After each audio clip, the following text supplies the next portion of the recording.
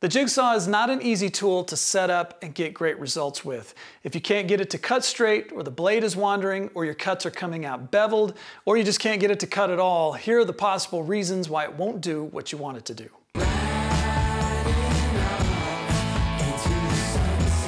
First possible reason you can't get your jigsaw to cut straight is that your blade is 5,000 years old and now it's as dull as your Aunt Melba's Better Homes and Gardens magazine collection. Blades do not stay sharp forever. The cheap ones don't stay sharp long at all. So this one is easy, throw it out and get a new one.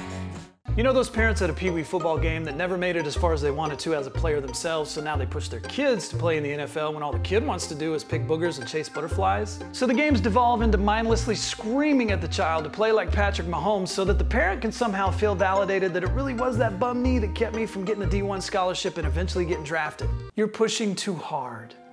Just teach the blade how to act and then let it do what it's gonna do. If it wants to cut fast, let it. But if it wants to cut slow, just let it cut slow. Its dreams may not be your dreams. And when it's all said and done, it's going to love you for just being there and supporting it.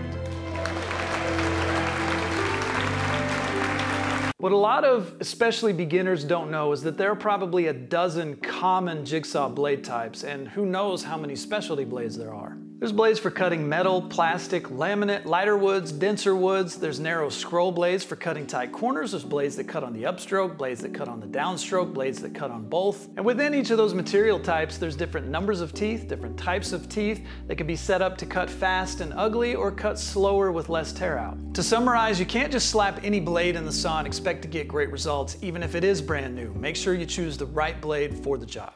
I'm very hesitant to let someone blame a tool and get away with it because generally if you develop your skill enough, you can make even a mediocre tool good enough. But the jigsaw seems to be a little unique in that a cheap or just old jigsaw that vibrates and chatters a lot can be a nightmare to use. I think the effect is exaggerated because you've got a tall tool that's really top heavy and it's got a comparatively small base and then you combine that with the fact that your blade is not supported at the bottom and it cuts by moving up and down really fast.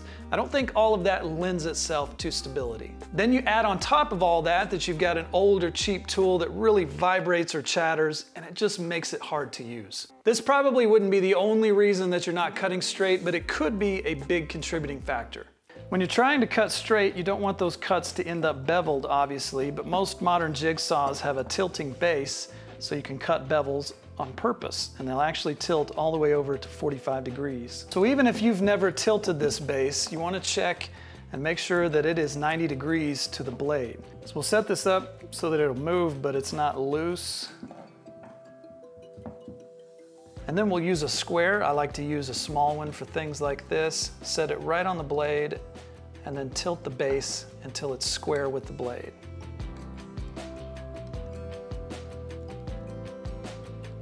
And you want to do this when you first get your jigsaw and periodically just to make sure that it stays 90 degrees with the blade.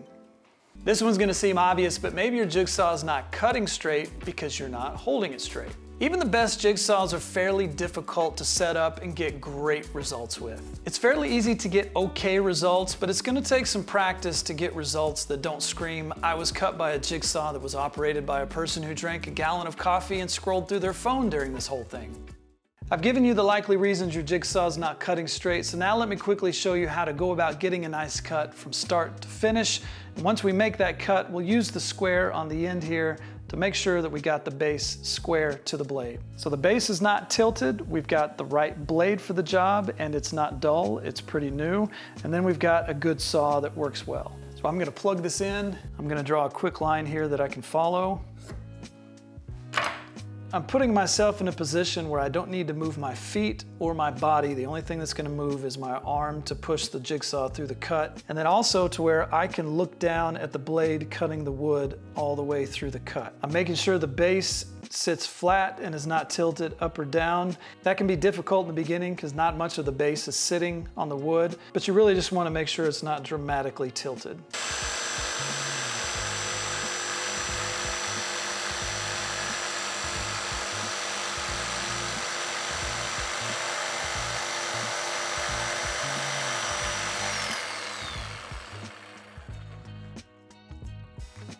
Got a really nice smooth cut there. And it's nice and square. If you want a full explanation of the jigsaw and how to use it and all the blade types, I've got a video on that. I'll link that down below. I've also got a free guide to the only five power tools you need to get started in woodworking and also a whole plethora of free project plans. All those links are down below. Thanks for watching and I'll see you over on that jigsaw video.